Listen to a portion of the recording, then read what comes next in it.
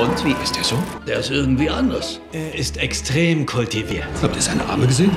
Er war vielleicht mal Boxer. Sein Aussehen. Er ist ein Bild von einem Mann. Das ist er. Hä? Der? Du hast mir nicht gesagt, dass er Ja, dass er was? groß ist. Ungewöhnlich groß.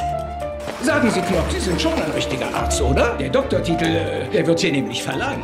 Und die Urkunde müssen Sie aufhängen, sodass sie für die Patienten gut sichtbar ist. Ich bin richtiger Arzt. Saint-Maurice, jetzt beginnt hier das Zeitalter der Medizin. Dr. Knock bietet ab sofort eine Sondersprechstunde an, die vollkommen gratis ist. Entschuldigen Sie bitte. Vorsicht, lass den Herrn Doktor mal durch. Wenn ich was esse, dann kribbelt die Haut. Ist es nun ein Jucken oder doch eher ein Kribbeln? Ein Kribbeln, ja. Gut, dann. Äh, Aber es juckt schon auch ein bisschen. Meine Aufgabe ist die Hinführung der Leute zur Medizin. tragen Sie sie täglich vor dem Zubettgehen großzügig aufs Gesicht auf. Danach ein Glas Wasser. Das verteile auch im Gesicht? Nein. Das müssen Sie trinken. Herr Postbote! Guten Abend. Wer ist das? Die liebe kleine Adele. Gibt's ein Problem, liebe Madame Mosquet? Nein, sagen Sie bitte Elisabeth. Die Sprechstunde ist bereits vorbei. Das ist ein Notfall.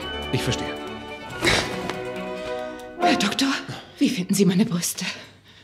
Und was hat er nun so Besonderes? Er war nur professionell. Wäre es möglich, dass Sie eifersüchtig Was, sind? meine Liebe, wie können Sie so albern sein? Mit Ihnen zu tanzen finde ich schön. Fordern Sie mich auf? Mein Name ist Dr. Knock. Es ist mir eine Ehre, Sie kennenzulernen. Bravo. Bravo! Eindrucksvoll. Sehr eindrucksvoll. Vielleicht sogar ein bisschen zu eindrucksvoll.